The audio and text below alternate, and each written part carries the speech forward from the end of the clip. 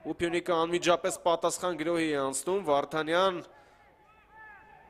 խախտում է այստեղ կանոնները Վիկտորը ու հետո էլ հարված ստանում Վարդանյանի կողմից եւ սա արդեն շատ լուրջ է Վարդանյանը կհեռացվի խաղադաշտից, այո։ Իհարկե, Արարատի ֆուտբոլիստը չպայքարեց կանոնների սահմաններում, բայց Վարդանյանի այսպիսի արձագանք դել ընդունելի չէ։ Ու հիմա էլ կարծես թե հարաբերությունները փորձում parzել չի կարելի այսպես։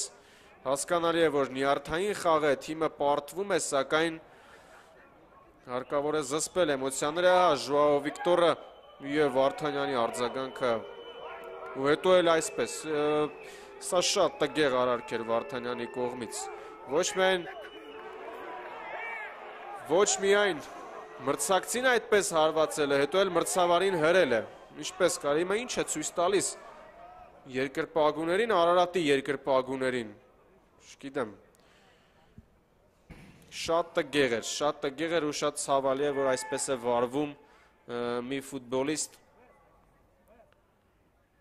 որը Հայաստանի ազգային հավաքականում է խաղում ու որի հետ մեծ հույսեր ենք կապում։ Իհարկե դեղին քարտ է ստանում նաև Ժաո Վիկտորը։